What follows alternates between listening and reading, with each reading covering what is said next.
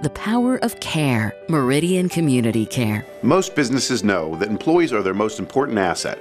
And that's why so many count on Work Life by Meridian to keep their employees healthy and drug free.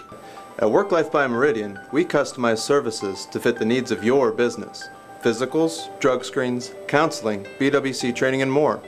And now, we even provide primary care for your employees and their families. The power. The power. The power. The power of care.